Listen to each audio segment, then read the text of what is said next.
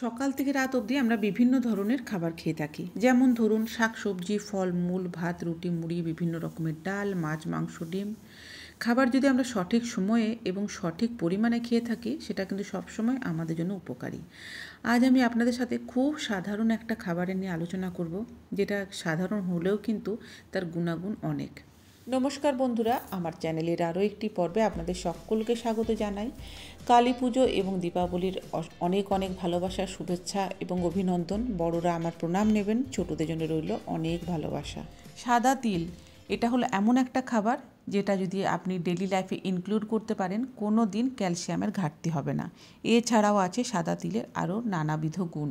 ভিডিওটি দেখুন, আশা করি ভালো লাগবে। ফাইবারের খুব ভালো সোর্স হচ্ছে এই সাদা তিল।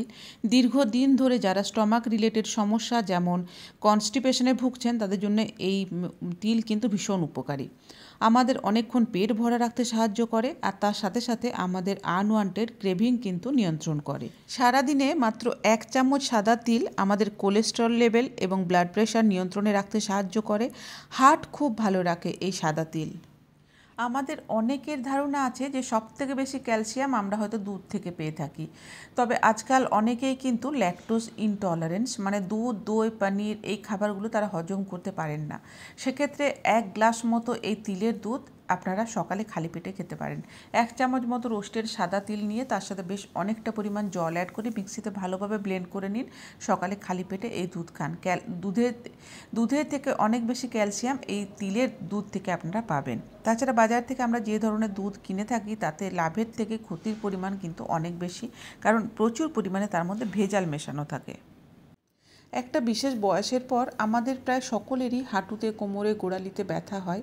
আর এই ব্যথা এতটাই মারাত্মক হয় যে উঠতে, বসতে পারেন না অনেকে। সেক্ষেত্রে কিন্তু এই তিলের তেল ভীষণ উপকারী। যে জায়গাতে ব্যথা থাকবে সেই জায়গাতে এক চামচ মতো তিলের তেল নিয়ে ভালোভাবে ম্যাসাজ করুন। সাত দিন পর দেখবেন আগের থেকে অনেকটা ভালো ফিল করবেন। সাদা তিল হচ্ছে good source of B vitamin এছাড়াও কিন্তু ক্যান্সারের মতো মারাত্মক ব্যাধির প্রতিরোধক হিসেবেও কাজ করে থাকে। এখনকার দিনে এইট্টি পার্সেন্ট মহিলাদেরই কিন্তু আয়রন ডেফিসিয়েন্সি থাকে। ইরেগুলার পিরিয়ডস হয় মানে পিরিয়ডস টাইম মতো আসে না। পিরিয়ড দু, তিন মাস, চার মাস গ্যাপ গ্যাপ দিয়ে হয়। আর যখন হয়, তখন কিন্তু খুব হেভি ব্লিডিং হয়। আবার অনেকের পিসিওসের সমস্যা থাকে।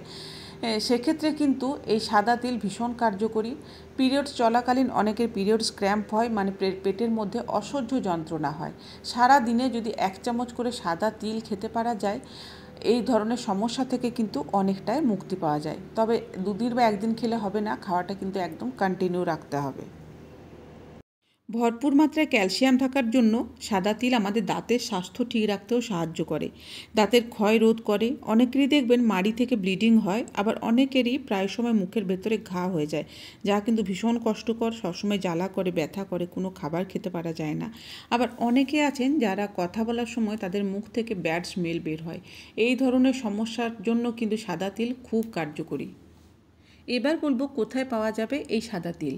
যে কোনো রকম local grocery store super market অথবা অনলাইনেও কিন্তু ইজিলি অ্যাভেলেবেল যার দামও কিন্তু ভীষণই সস্তা।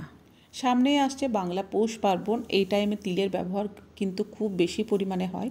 তার কারণ হচ্ছে তিল হচ্ছে একটি গরম জাতীয় খাবার যা আমাদের শরীরের উষ্ণতা প্রদান করে। যার জন্য কিন্তু শীতকালে তিল, কুট, তিলের মিষ্টি, তিল, নাড়ু এইসব আমরা প্রায়শই বানিয়ে থাকি বা বাজার থেকে কিনে নিই। এছাড়াও কিন্তু আরও অনেকভাবে তিলের ব্যবহার করা যেতে পারে। বাড়িতে আমরা যখন স্যালাড বানাই, তার উপরে কিছুটা রোস্টেড তিল আমরা স্প্রিঙ্কেল করে দিতে পারি। বার্গারের উপর কিন্তু এই সাদা তিল স্প্রিঙ্কেল করা থাকে। একইভাবে স্যান্ডউইচের উপরেও সাদা তিলের ব্যবহার করা যেতে পারে। তাছাড়াও কিন্তু লস্যি বানিয়ে বানিয়ে খেতে পারেন স্মুদি বানিয়ে খেতে পারেন। সাদা তিল আর ওটস দিয়ে বানানো একটা স্মুদি রেসিপি অলরেডি আমার চ্যানেলে পোস্ট করা আছে। আমি ডিসক্রিপশান বক্সে তার লিঙ্ক দিয়ে রাখব, যদি ইচ্ছে হয় চেক করে নিতে পারেন। আর একদমই যদি কিছু বানাবার ইচ্ছে না থাকে, সেক্ষেত্রে সকালে ঘুম থেকে ওঠার পর এক চামচ রোস্টেড সাদা তিল নিন, সেটা চিবিয়ে চিবিয়ে খান। তারপর এক গ্লাস জল খান। আশা করব আমার আজকের এই ভিডিও আপনাদের ভালো লেগেছে। যদি ভালো লেগে থাকে তাহলে দয়া করে আমার ভিডিওটিতে একটি লাইক করবেন, কমেন্ট করে জানাবেন। চ্যানেলে নতুন বন্ধু হয়ে থাকলে চ্যানেলটি সাবস্ক্রাইব করে সাথে থাকার অনুরোধ রইল। পুরাতন সকল বন্ধুদের জানায় পাশে থাকার জন্য অসংখ্য ধন্যবাদ। আপনারাও সকলে খুব ভালো থাকুন সকলে সুস্থতা কামনা করি। ধন্যবাদ।